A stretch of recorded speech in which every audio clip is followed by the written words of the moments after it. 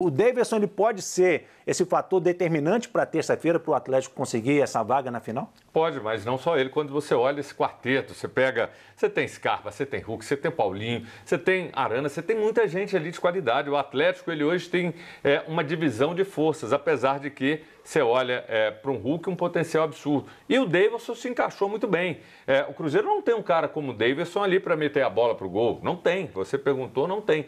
O Davidson, quando ele veio, eu não questionei em nenhum momento é, a qualidade que ele tem, porque é um cara que incendeia, que cria caso, é, veste a camisa. O que eu questionei na época foi o salário, que foi muito alto, o custo-benefício. Só que pelo que ele já fez, ele já pagou. Ele já está pago contra o Fluminense nesse último jogo. Então o Davidson é um cara que encarnou o espírito atleticano e teve um encaixe, uma sintonia com o time, principalmente na parte, na parte ofensiva, absurda. E lá na Argentina, Gabriel, se fala de criar um, um, um, um ambiente hostil para o Atlético, né? não deixar os caras dormirem, fazer barricada para que tenha que andar mais para chegar no estádio. Água quente. É situação complicada para eles. Você vê hoje o Atlético um time maduro para enfrentar a Catimba, para enfrentar qualquer adversidade que pode, possa acontecer lá por essa vaga na final? Ah, com certeza. A começar pelo gol, o rei da Catimba. O Atlético já tem o Everson que se o time estiver ganhando com um minuto já está deitando no chão já.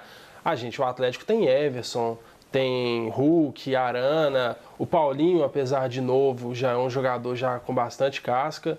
Ah, o Atlético tenha 100, 200 mil torcedores do Monumental de Nunes, até a polícia, prefeito lá queira que o River passe para a final, acho que o Atlético tem totais condições. Não sei se vai perguntar o placar, Daqui a pouco eu vou perguntar. Calma, calma, calma, calma, calma. Daqui a pouco tem um placar para esse jogo também. Daqui a pouco vamos falar. Helder, é, o Atlético pode perder por dois gols de diferença. Que ele avança a, a, a final. Se perder por três, é disputa nos pênaltis.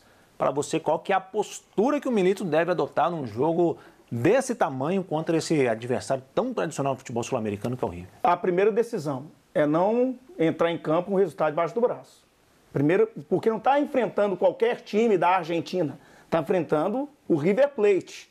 Não está enfrentando o Lanús, que está lutando para não cair, igual o Cruzeiro está enfrentando. Está enfrentando o River Plate. Eu disse anteriormente que 3 a 0 no futebol, isso é normal. São resultados normais de acontecer. Às vezes você jogando mal, o Cruzeiro jogando mal, quer dizer, mais ou menos ganhou do Botafogo lá dentro, 3 a 0 que vai ser campeão brasileiro talvez.